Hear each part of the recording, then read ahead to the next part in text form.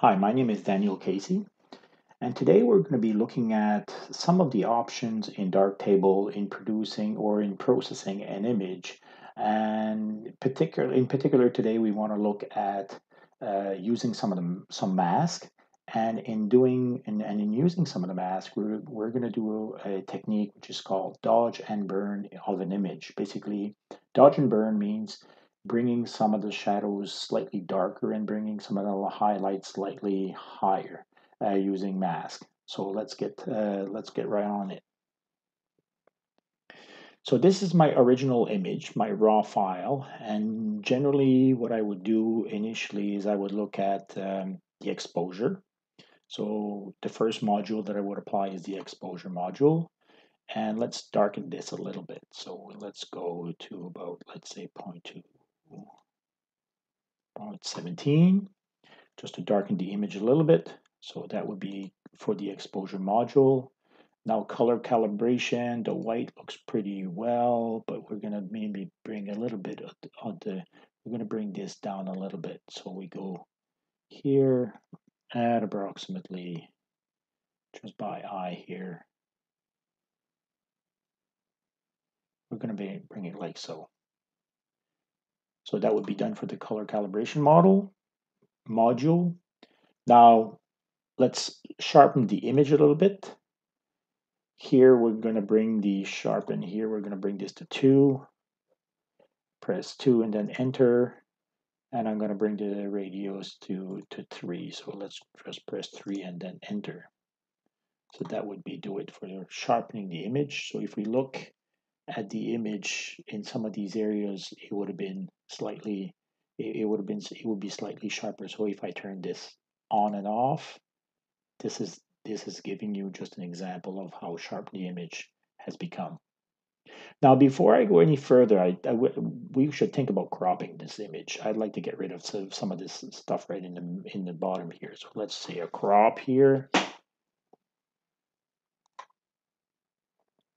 And we're going to go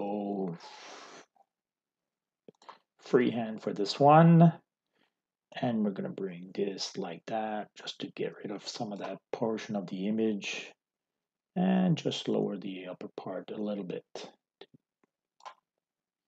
And let's assume that that's pretty good. So we double click. So we have crop our image.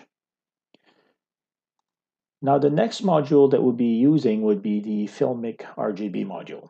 So let's go in this particular module and we start with the scene tab. In the scene tab, we just want to bring this, uh, the white points a little lower here, so maybe to something like this. We want to want to get some of the black relative exposure to this level, so it gets a little bit more dynamic range into the image. We look at, we go into the look tab, increase the latitude a little bit, and also increase the contrast a little bit increasing the contrast, it's actually changing the slope here. And maybe that's a little bit much. So let's go down a little bit. All right. So the other module that I usually go right into after this is the color balance RGB. And here I only go in the master tab and only do some of the global stuff. So in the global vibrance, I'm going to do um, 10%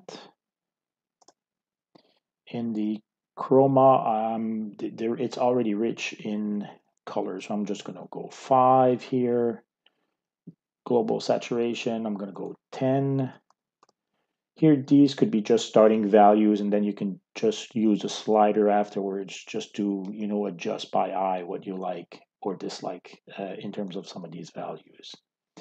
And the, and the perceptual brilliance grading, I'm not, I'm going to leave it to zero. This would sort of brighten the image a little bit but I don't think uh, I want to do that at this stage. Now, the next thing that you want to do in this particular image, if we want to do the um, dodge and burn, is we basically go into the exposure module and we set a new instance. So now we have a new instance of the exposure module, and we want to go into the in, into the ma into the mask, uh, the masker here. and in the in this particular case, just second right here, I'm so so the the mask I'm going to use sort of this path mask, okay? So using the path mask, I'm going to click on it, and I'm just going to select the highlights here like this, like so. And once that you're almost done, you um, you right click. So that's the first one. Okay, you're going to use the same one here, do another one.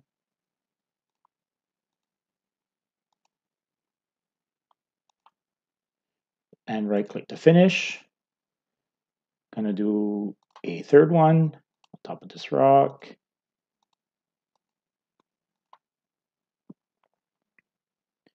Click and then right click and it's done. And you could do one here potentially and one there, but let's do just one up here.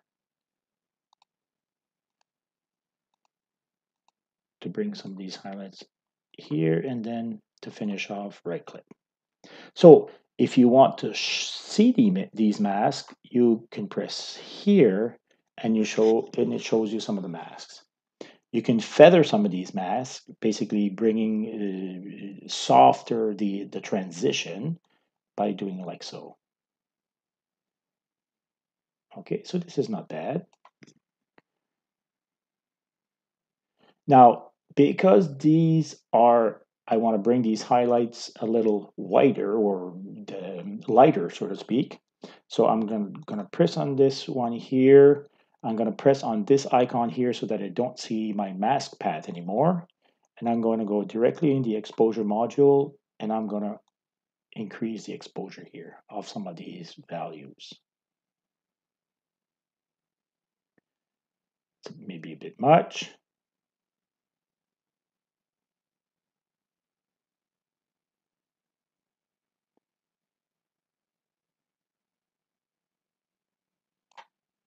And if you're if you want to fine tune, you right click here and you can fine tune by using this here and you need to, your computer to be waiting a little bit so that it works. So we've increased it by 0.73 uh, EV.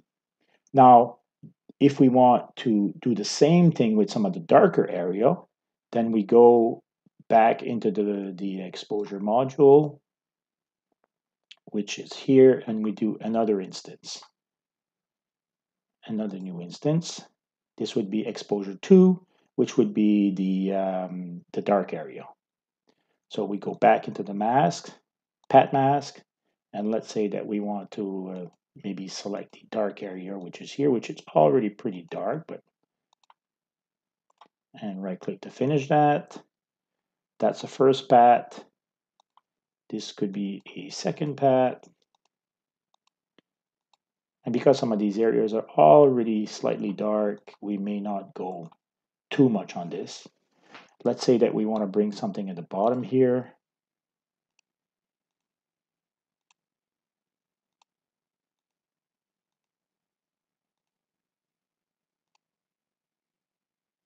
Now, if you want to do a hard edge, such as this one here, what you do is you press Control and then click.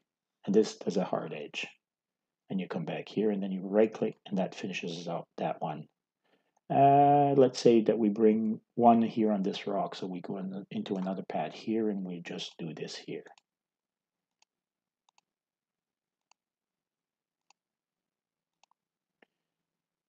And right click to complete. So this is our path that we want to sort of darken the image. If we click on this icon here, it shows us the mask. And if we want to look at the feathering radius, we can do like this, and it soften the, the edges here, maybe a little bit more. It's not bad. So if we turn off the mask, turn off the path, and we go directly into the exposure here. And in this case, we would darken these areas of the, of the image. So that's too much.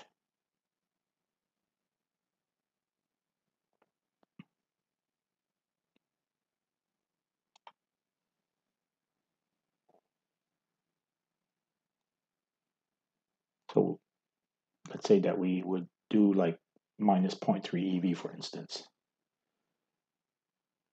So this really sort of brings out and brings some of the dynamic range into some of your image and um, it, it, basically gives a really good sense of, of depth in some of your image. So basically that's how you do uh, dodge and burn using Darktable. So thanks for watching and hopefully this was useful.